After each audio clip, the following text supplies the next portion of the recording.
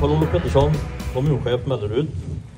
Eh, och det är lite extra roligt att kunna inviga traktormuseet i Melleruds kommun. Och faktiskt det enda i, i Dalsland. Och ett av 25-tal tror jag det finns i Sverige. Så det här är ju inte helt jättevanligt i ett avlångt stort land. Vi är ju ändå 290 kommuner och då är vi med i en av dem i alla fall. Riktigt, riktigt skoj. Eh, traktorer, jordbruk ligger ju lite extra varmt om hjärtat även för mig personligen. Eh, bonnapojk som jag är så har jag ju liksom varit med på den här resan med, med gamla maskiner och eh, ni, ni vet ju som också har rötterna här i, här i bygden. Man, jag har till och med suttit på, på ryggen på en häst vet jag, när, när min far gick bakom och körde sågmaskinen. Fast det stod en, en gammal fotogenare uppvill.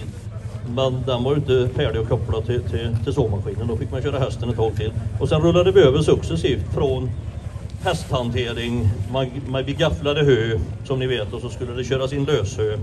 Eh, in i injektorn, det var ju en stor utmaning.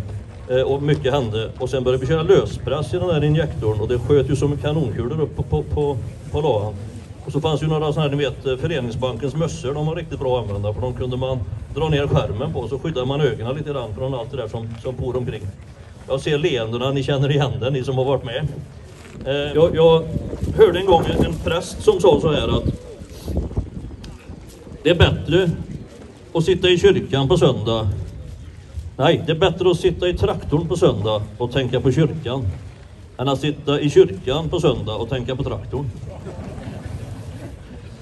För hur den är så är det ju dygnet runt arbete, det, det släpper aldrig och det lägger, gäller att ligga i hela tiden.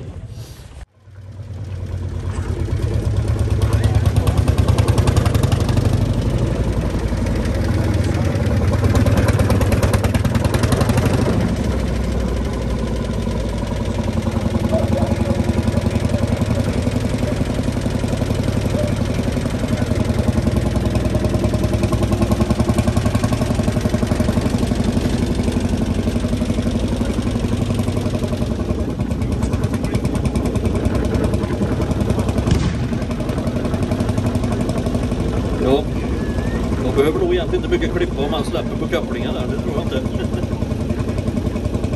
Åh, nu är smält upp den.